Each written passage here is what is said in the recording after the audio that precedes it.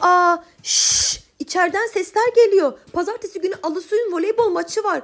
Kapıyı bir açtım ki inanamıyorum. Adosu hiç evin içinde böyle top oynanır mı? Komşular rahatsız oluyor. Çocuklar doğruyu söyleyin. Sizler de voleybol oynamayı seviyor musunuz? Ve sizin de voleybol takımınız var mı? Varsa muhakkak yorumlara yazın.